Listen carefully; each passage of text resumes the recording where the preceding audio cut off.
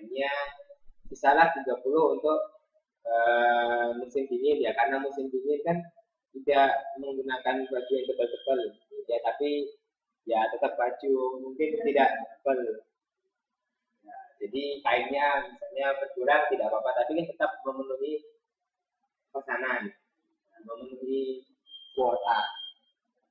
Jadi seperti itu kemudian ada namanya kapasitas aktual ekspektasi atau jangka panjang estimasi produk yang diproduksi selama periode waktu tertentu.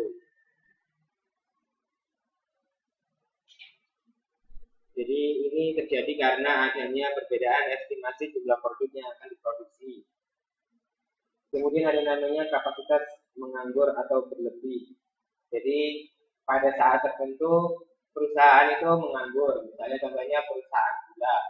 Kalau dia lagi musim giling ya dia menggiling kebunnya kalau kebunnya lagi tidak ada ya dia nunggu bro. Bro nya lagi nah setelah itu kita ke anggaran overhead pabrik. Nah anggaran overhead pabrik ini eh, dilakukan setelah adanya tingkat aktivitas uh,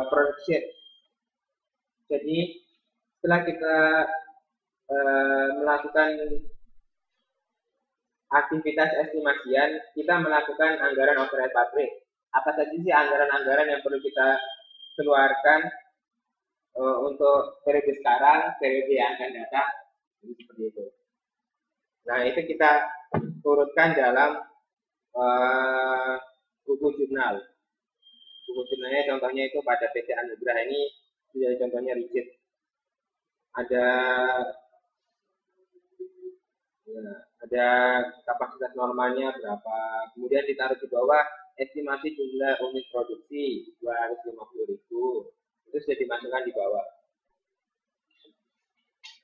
Nah setelah itu kita menentukan basis penentuan tarif overhead pabrik nah ini basis yang, yang tepat kita basisnya kita menggunakan basis apa di sini ada beberapa basis.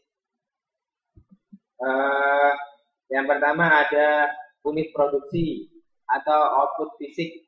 Jadi kalau output fisik itu dapat dicari melalui overhead pabrik uh, teranggarkan dibagi dengan unit produksi estimasi. Biasanya kalau dalam contoh kasus ada langsung soalnya misalnya teranggar anggaran kita sebesar 395 juta, kemudian kapasitas unitnya sebesar 250 ribu unit, maka kita akan memperoleh tarif overhead pabriknya sebesar 1.580 per unit. Kemudian ada yang namanya cost bahan baku atau biaya bahan baku. Biaya bahan baku ini biasanya untuk yang tunggal saja. Kita dapat mengestimasi biaya bahan baku itu dengan cara overhead pabrik yang teranggarkan dibagi dengan biaya bahan baku estimasi dikali 100%. Kalau lebih dari satu produk uh, atau lebih dari apa ya, uh, penggunaan bahan bakunya itu lebih dari satu, maka dia susah untuk diestimasi. Karena bahan baku ya hanya mengestimasi satu saja. Kalau menggunakan lebih dari satu bahan baku, maka harus menggunakan metode yang lain. Jadi itu untuk digunakan. Kemudian ada namanya kos tenaga kerja langsung. Kalau kos tenaga kerja langsung ini merupakan uh, presentasi dari penggunaan kos. Uh, biaya overhead pabrik yang teranggarkan dibagi dengan biaya tenaga kerja estimasi yang dikali dengan 100%. Nanti kita akan memperoleh berapa sih persen dari biaya tenaga kerja. Kemudian ada namanya jam tenaga kerja langsung dan jam mesin. Itu sama dengan uh, tenaga kerja langsung. Itu sama. Nah, untuk yang D ada yang namanya kos dan jurnal overhead pabrik yang dibebankan. Setelah kita uh, menentukan tepat, misalnya kita memilih jam tenaga kerja langsung, nanti di cost dari cost dan jurnal overheadnya kita dapat menggunakannya kalau jurnal cost itu seperti apa. Seperti yang saya terangkan kemarin waktu online di sana kan ada kalau jurnal tenaga kerja seperti apa jurnal bahan baku seperti apa jurnal mesin seperti apa. Kalau di sini contohnya sebagai contoh tarif overhead pabrik sebesar 200% dari bahan baku. Ini berarti contohnya bahan baku. Kos bahan baku sesungguhnya diketahui sebesar 190 juta, maka perhitungan besaran overhead dibebankan adalah 190 juta dikali 200 persen sama dengan 380 juta. Kemudian kita menuliskan di jurnal produk dalam proses sebesar 380 juta, kemudian overhead pabrik dibebankan 380 juta. Nah, itu. Nah, setelah itu kita uh, membuat jurnal overhead pabrik yang aktual. Nah, untuk membuat jurnal ini, ya seperti tadi, kita tinggal memasukkan biaya-biaya uh, yang ada ke dalam jurnal. Kita menjurnalkannya. Mana yang termasuk dalam debit, mana yang termasuk dalam kredit. Nah, setelah itu kita uh, melakukan perlakuan dan disposisi varian variasi offset pabrik. Nah, ini kalau di posisi ini ada yang offset pabrik dibebankan dan pabrik kendali. Ada dua offset pabrik yang dibebankan dan offset pabrik yang dikendalikan.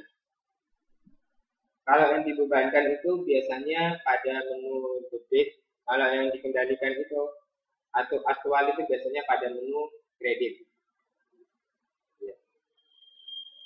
Kalau di sini uh, ada lagi yang membedakan. Di sini contohnya uh,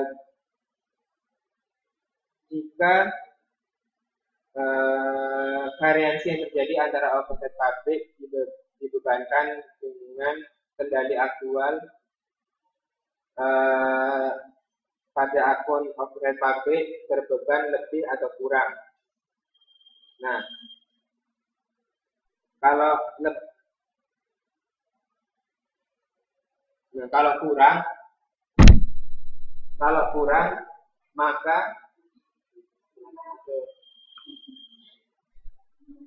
kalau kurang kita dapat melihat jurnalnya sebagai berikut.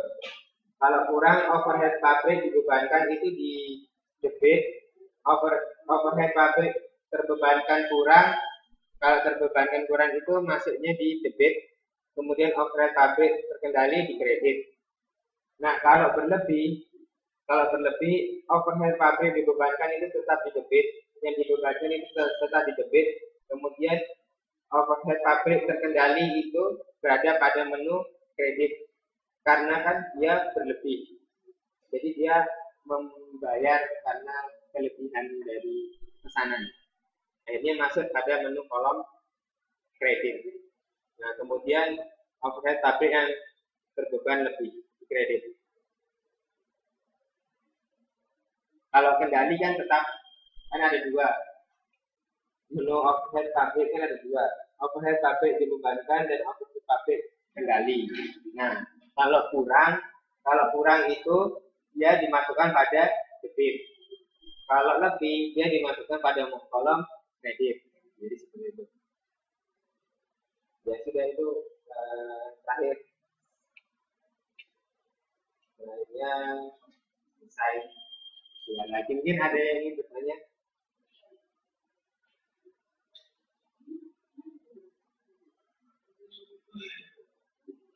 Ya mungkin istirahat dulu.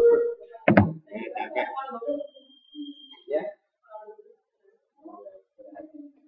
Ya mungkin itu dari saya satu dulu ya Assalamualaikum warahmatullahi wabarakatuh. Selamat siang.